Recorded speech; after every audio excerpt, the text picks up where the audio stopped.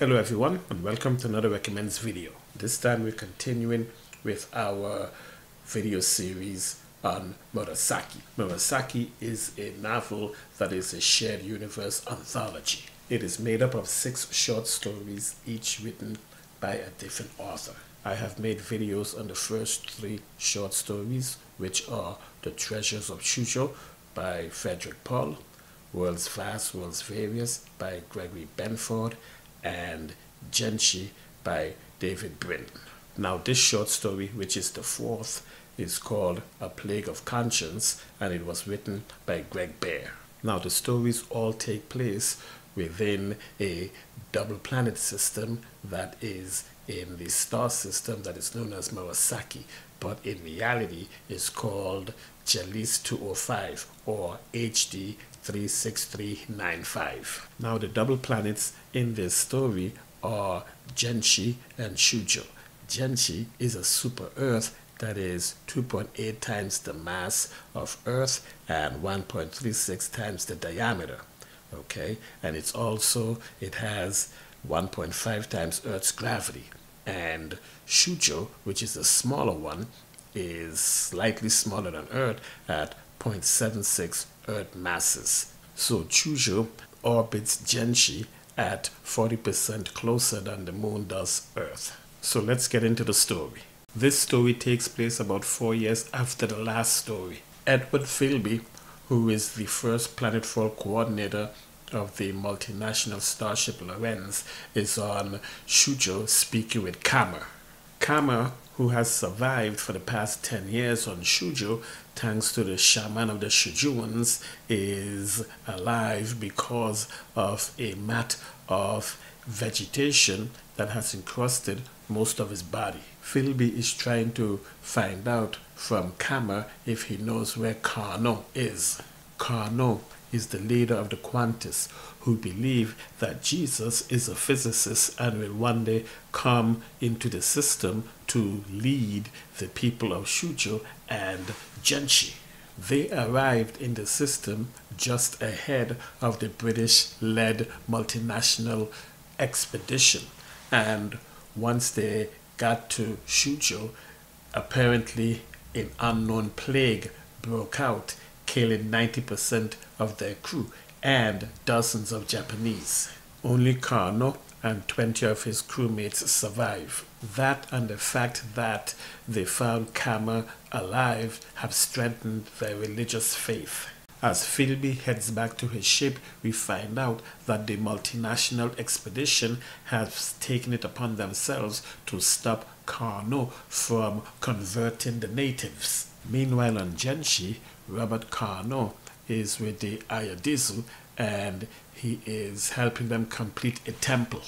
Kano is not only responsible for bringing a new religion to the Iridizu, he is also responsible for turning Kama into a religious figure based on the bonding between human and Shujuan.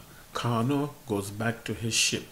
He is then contacted by Tatsumi, who is on Philby's ship, and she is trying to mediate between Philby's group and Kano's group. Kano refuses the Japanese attempt at mediation. It turns out that Kano and 20 of his people were able to survive the plague because when Kama hit him with his stick, some of the snug rug that was surrounding his body was on the stick and it got transferred to Kano, who used it to heal the rest of his people. Some of the Iridizu have become convinced by Kano because they too have a legend that an angel came down and hit their females with a staff, which gave the females greater strength and power. So some of those are following Kano, but he is now meeting groups of Iridizu that are not joining him, and each of those groups that have refused him were visited by Philby. Philby receives a message from the spacer ship that left Kama about 10 years ago. And once he received that message, he goes and looks for Kama. On Shujo, he meets with Kama and tries to convince him to come back to the ship with him. And Then the Shajuan shamans examine Kama, and then Kama tells Philby that he was an experiment and that the shamans were finished with him, so he can go with him. At the same time, Kano agrees to meet with Philby, with the Japanese acting as mediators. They decide to have the meeting on Genji, and Kama would be there with them. An examination of Kama make them realize that the experiments that was done on him will allow him to survive in the heavy gravity of Genji. It is also obvious that Kama knows more than he is telling them. Kama meets Kano and they walk down to the ocean where the Iridizu has some whaling ships. And when Kama sees the extent of the whaling ship's work, he gets upset and he says, They are the ones and they're killing them. At which point the Iridizu say that they must kill the judges, referring to Kano and Kama, and they attack them. Kano is killed and Kama disappears.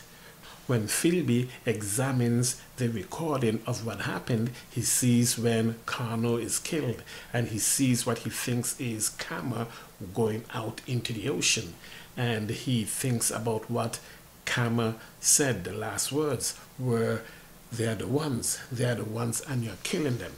And that's how the story ends. Well, that's it for now. There are two more short stories left in this novel that will be coming up soon. I would like to thank you for watching and listening. And if you haven't subscribed, please consider subscribing and giving us a thumbs up and hitting the notification bell. And I will see you in the next video.